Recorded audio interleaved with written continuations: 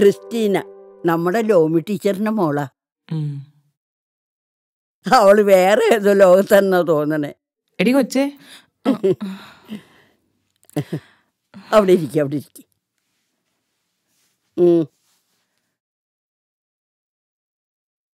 ലോമി teacher നിർബന്ധിച്ചുകൊണ്ടാണോ മോളിങ്ങോട്ട് വന്നത്? ആരോടായിരുന്നു ഈ chatting? പറയാൻ താല്പര്യമില്ലേ? എന്റെ ഒരു ഫ്രണ്ടിനോടായിരുന്നു. ഓ ഫ്രണ്ട് ആണോ പെണ്ണോ? ആണ്. ക്രിസ്റ്റീനയുടെ ഡൈവേഴ്സുമായി എന്തെങ്കിലും ബന്ധമുണ്ടോ ഈ ഫ്രണ്ടിന്?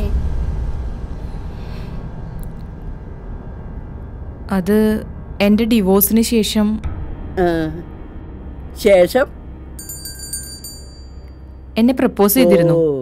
പക്ഷെ ഫ്രണ്ടാ. എന്നിട്ട് എന്തായി നത്തിങ് ഇപ്പോ വിശേഷങ്ങൾ ചോദിച്ച് ചാറ്റ് ചെയ്തതാ. ഓ ഓക്കെ ഓക്കെ. ആ അതവിടെ നിൽക്കട്ടെ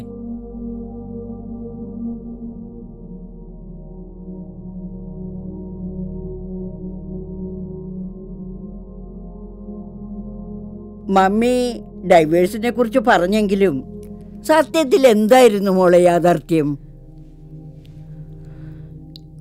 Not adjustable at all tell me frank അറിയില്ല. Sex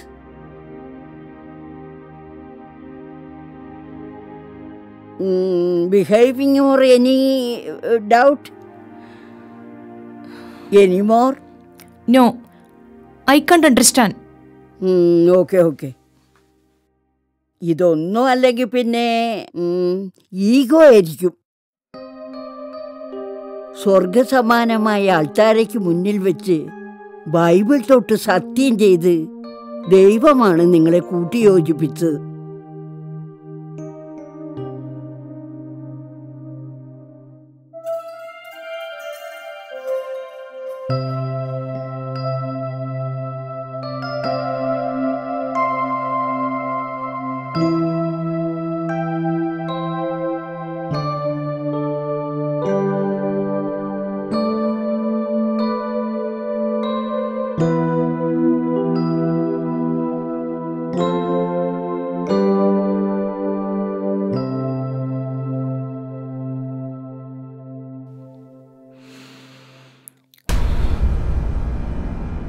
ഭർത്താവിന്റെ ദുശീലങ്ങൾ.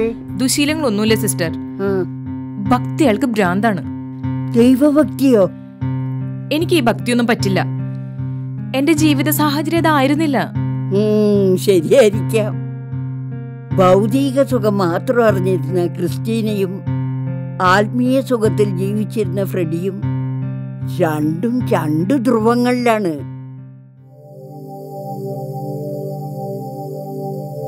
പ്രേമബന്ധങ്ങളിൽ ഏർപ്പെടുമ്പോൾ ആദ്യം നിങ്ങളുടെ കുടുംബങ്ങൾ തമ്മിലുള്ള അന്തരങ്ങളോ പോരായ്മകളോ നിങ്ങളെ അലട്ടിയിരുന്നില്ല. ശരിയല്ലേ. ജീവിതം നീങ്ങിക്കൊണ്ടിരിക്കെ ഇതിൽ പലതും തലപൊക്കി തുടങ്ങും.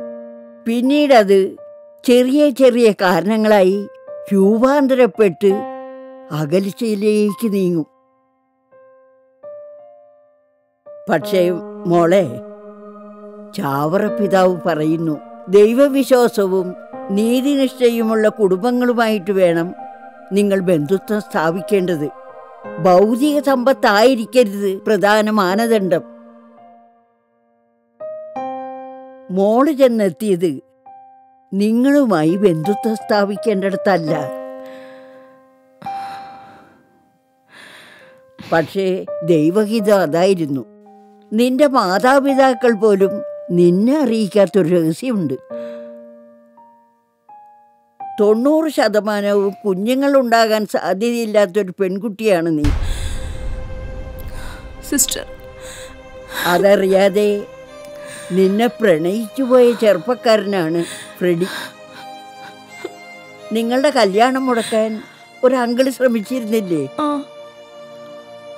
അങ്കിളിന്റെ അവസാനത്തെ അടവായിരുന്നു നിന്റെ ഗർഭധാരണ കഥ. ഔസേ പിതാവിനെ പോലെ അവനും നിന്നെ ഉപേക്ഷിച്ചില്ല.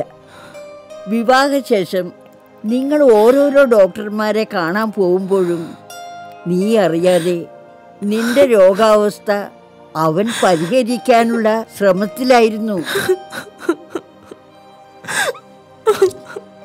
ഏതോ ഒരു ഘട്ടത്തിൽ നിന്നെ ഒരു ഓപ്പറേഷന് വിധേയമാക്കി ഒരു കുഞ്ഞിനു വേണ്ടി രാത്രികളെ പകലുകളാക്കിക്കൊണ്ട് പ്രാർത്ഥനയിലായിരുന്നു ഫ്രെഡി.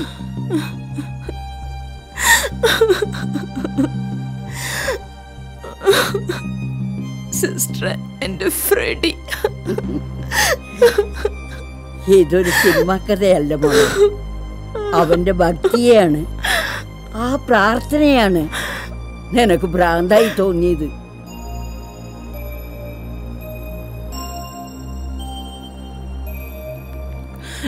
കരഞ്ഞോളൂ മോളെ കരഞ്ഞോ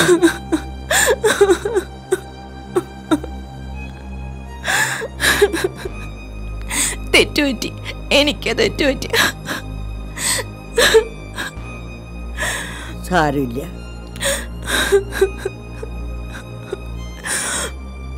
എനിക്ക് ഉടനെ എന്റെ ഫ്രെഡിയെ കാണണം.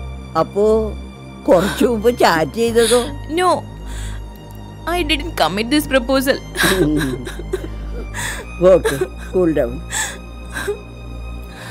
ഫ്രെഡിയെ എനിക്ക് കാണണം പ്ലീസ് കാണാം. കണ്ണൊക്കെ തുടങ്ങി നീ പോകുന്ന വഴിത്താരയിൽ എവിടെയെങ്കിലും വെച്ച് അവനെ കാണാം.